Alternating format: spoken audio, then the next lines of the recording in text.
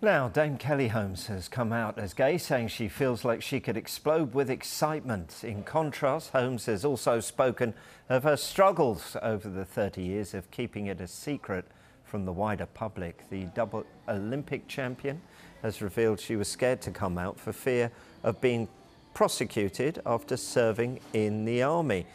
It was only after a conversation with an LGBTQ plus representative that she realised there would be no punishment and she felt comfortable announcing the news.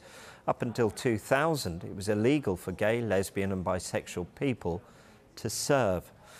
Holmes says I was convinced throughout my whole life that uh, if I admitted to being gay in the army, I'd still be in trouble. When I got injured or ill, I would cry all the time because all I needed to do was get back running.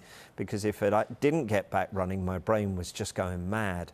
I think no one talks about it in the sport. How do I suddenly say I'm gay? I can't because I'm admitting that I broke the law in the army.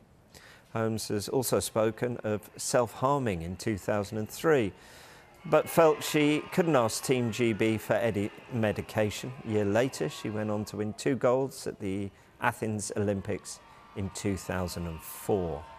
And speaking about her announcement, she says, I needed to do this now for me.